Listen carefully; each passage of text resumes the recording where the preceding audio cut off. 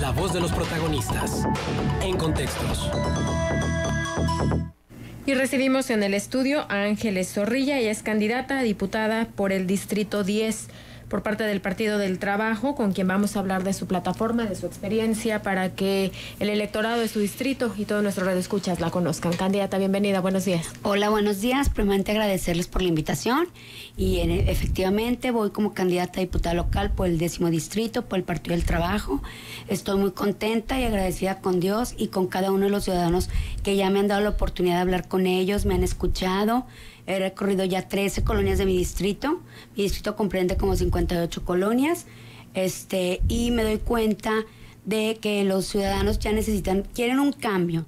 Este, yo les platico y les digo la propuesta del Partido del Trabajo, que yo quiero, como si ellos me ayudan con su, con su voto, ser su voz en el Congreso y quiero legislar a favor de veras de los coahuilenses a favor de cada uno de los coahuilenses, porque yo creo que necesitamos ya políticas públicas en donde incluyamos a todos y cada uno de los coahuilenses desde su circunstancia de vida, desde una madre soltera, desde los hombres que también se quedan como proveedores de su casa porque se enviudaron o porque la mujer se fue, este, desde los, las personas de la tercera edad que ustedes ahorita comentaban, que este, pues que ahorita les, creo que no les ha llegado el pago de, de su 65 de los 65 y más porque por razones que a lo mejor son evidentes, ¿verdad?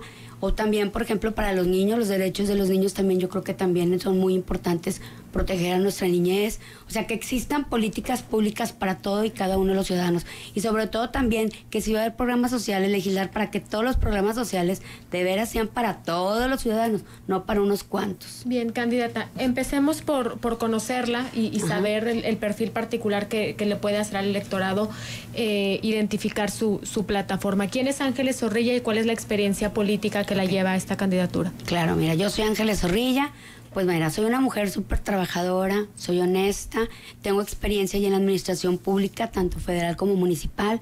Trabajé en la administración de Fox, en dos secretarías de Estado, en educación y en economía, como asesora de dos oficiales, dos oficiales mayores.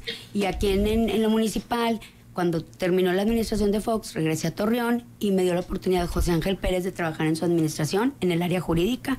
Estuve en el último año, un año y medio este, de la administración de José Ángel Pérez y después yo continué, este, se, se, acabó la administración de José Ángel Pérez y continué trabajando en, pues, en diversas este, oportunidades que se me abrieron para en la política y siempre han dado, siempre busqué un espacio político y se me dio gracias a José Ángel Pérez y el, y el Partido del Trabajo y este y pues soy abogada, soy una mujer preparada.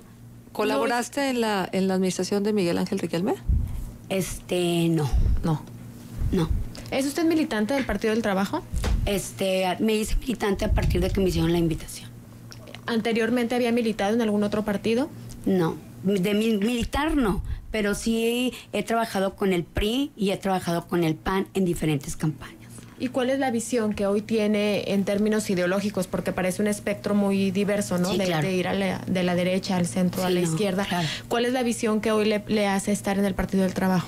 Pues mira, yo creo que la visión que me hace estar en el Partido del Trabajo es, si es un, es un partido de izquierda, primeramente, como tú lo acabas de decir, y son visiones completamente opuestas, pero yo creo que lo que a mí me llama la atención del Partido del Trabajo es un partido que se compromete de veras con la clase trabajadora, con la clase obrera, con la clase del esfuerzo, que yo creo que es una clase que ha estado olvidada por los gobiernos priistas y panistas, porque yo veo cuando he ido a las colonias el sentir de la gente. Nos dicen, no, es que nada más candidata, nada más unos cuantos tienen servicios. Y yo les digo, no, es que yo como candidata lo que voy a hacer por ti es legislar para que lleguen a ti también los servicios. Legislar para que tú tengas mejores, este, mejores servicios, mejor calidad de vida, mejores salarios. Eso va a ser mi propuesta, porque yo creo que el Partido del Trabajo es un partido chico en militancia, pero es un partido muy comprometido con la clase que de verdad necesita el apoyo. ¿Qué plataforma legislativa podría garantizar una mejora en los servicios públicos cuando finalmente son en su mayoría atribuciones del Ejecutivo Municipal? Ah, no, pues de hecho, de hecho la plataforma para mí sería primero la, es a través de la rendición y transparencia de las cuentas. ¿Estás de acuerdo que le, estoy de acuerdo que es, es del municipio quien le corresponde los servicios, pero también los diputados autorizamos el presupuesto que se le da a los municipios. Entonces, a partir de ahí. ¿El PT va solo? Sí, vamos completamente solos. No tenemos alianza con nadie, lo que significa que no hay compromisos políticos, lo que significa que vamos a, a gobernar con libertad. Bien. En la, eh, la, la, camisa que trae nuestra invitada. Eh, con el logotipo del PT. Abajo trae el eslogan que está utilizando eh, José Ángel, que es el de Arre. Ah. ¿Por qué Arre? Pues mira, todo, todo el mundo me lo ha preguntado. Y no es de manera despectiva el, el utilizar el arre. El arre no es para los ciudadanos, aclaro. El arre es una invitación a los ciudadanos para que nos ayuden a arrear, arrear definitivamente al PRI y al PAN, porque creo que han gobernado de, pues de manera inconsciente. Y pues las personas inconscientes pues no son personas, ¿estás de acuerdo? Son No, sí son personas, bueno, inconscientes pero inconscientes, ok. Eh, candidata, finalmente, para cerrar la entrevista, ¿ha hecho usted pública sus declaraciones patrimoniales de impuestos y de intereses? Sí, es una de las condiciones, de los requisitos para poder ser candidata, de haberlo subido a la, al, INE. Se entregaron al INE, pero las han hecho públicas en la plataforma de Transparencia Ciudadana. Pues deben deben de estar. Bien. Bueno, pues le agradecemos mucho su presencia con nosotros esta mañana y haber compartido con el auditorio esta plataforma. No, pues muchísimas gracias a ustedes. Gracias. gracias. Ángeles Zorrilla, la escuchó usted, ella es candidata, diputada por el Distrito 10 por el Partido del Trabajo.